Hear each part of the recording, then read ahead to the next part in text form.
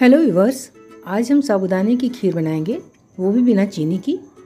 व्रत के दिनों में इस खीर को खाने के बाद आपका एनर्जी लेवल बिल्कुल भी कम नहीं होगा और आप अपने सभी काम अच्छे से कर पाएँगे और आपको बहुत देर तक भूख भी नहीं लगेगी। खीर बनाने के लिए सबसे पहले दूध को उबाल लीजिए। अगर आपको बहुत क्रीमी और मलाईदार खीर चाहिए तो फिर आप फुल क्रीम मिल्क लीजिए। उसकी खीर बनाइए, नहीं तो आप टोन मिल्क से भी खीर बना सकते हैं।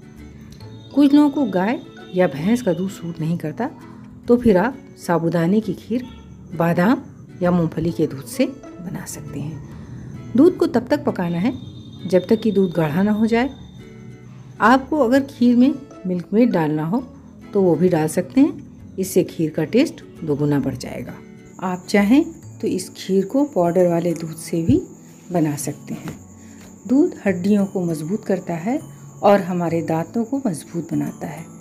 जो हमारे पूर्वज थे, वो दूध, दही खूब खाते थे और उनके दांत लंबी उम्र तक रहते थे। लेकिन आजकल बहुत कम उम्र में दांत खराब हो जाते हैं, क्योंकि अब दूध की जगह फास्ट फ़ूड ने ले ली है, जो कि हमारी सेहत के लिए बहुत नुकसानदेह है। दूध कब्ज़ को दूर करता है, बॉडी को ताकत देता है, दूध पीने से मानसिक तनाव ख़त्म हो जाता है अगर रात में सोने से एक घंटा पहले दूध पिया जाए तो रात में नींद बहुत अच्छी आएगी। इसलिए हमें अपने खाने में दूध का इस्तेमाल ज़रूर करना चाहिए। आप साबुदाने को अच्छे से धुल लें और उसे तीन घंटा पहले पानी में भिगो दें, जिससे कि साबुदाना फूल जाए। अब मैंने साबुदाना डाल दिया है। इसे अच्छे से चलाइए। साबुदाना बहुत गाढ़ा होता है जिससे कि दूध में जब मिल जाता है तो इससे और क्रीमी फ्लेवर आ जाता है। इसे अच्छे से चलाइए और लगातार चलाते रहिए। साबुदाने की खीर बहुत टेस्टी होती है। साबुदाना खाने से एनीमिया की समस्या दूर होती है। ये हाई ब्लड प्रेशर को कंट्रोल में रखता है। साबुदाना खाने के बाद एनर्जी लेवल काफ़ी बढ़ जाता है और हम अपने घर के सारे काम आसानी से कर सकते हैं। क्योंकि हमें अनाज खाने की आदत होती है। अगर अनाज नहीं मिलता है तो बहुत कमज़ोरी का एहसास होता है। अब इसमें खजूर डाल दीजिए। मैंने चीनी का इस्तेमाल नहीं किया है। अगर आप चाहें तो चीनी का भी इस्तेमाल कर सकते हैं।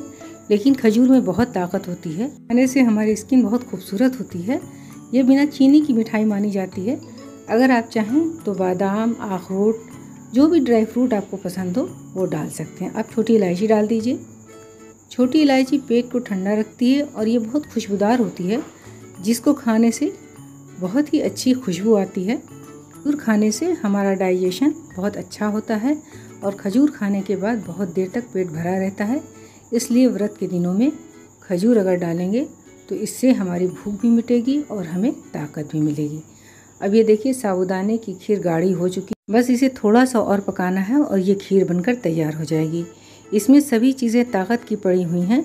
इसे आप व्रत में खाइए और बहुत आराम से पूरे दिन का काम कीजिए, आपको ज़रा भी कमज़ोरी का एहसास नहीं होगा। इस खीर को थोड़ा सा और गाढ़ा करना है। साबुदाने को जैसे पहले हमारे घरों में बताया जाता था कि इसको जब शीशे की तरह झलकने लगे तब तक पकाना है। तो बस इसको देख लीजिए कि जैसे साबुदाने का कलर बिल्कुल शीशे की तरह से हो जाए तो समझ लीजिए कि साबुदाना पक चुका है। यही इसको देखने का एक अच्छा तरीका है। क्योंकि हम लोग जब छोटे थे और जब स्कूल में सिखाया जाता था कि साबुदाना कैसे पकाना है तो फिर हम लोग इसी तरह देखते थे कि देखिए शीशे की तरह झलक रहा है। अब साबुदाने की खीर गाढ़ी हो चुकी है और बहुत टेस्टी खीर दिख रही है।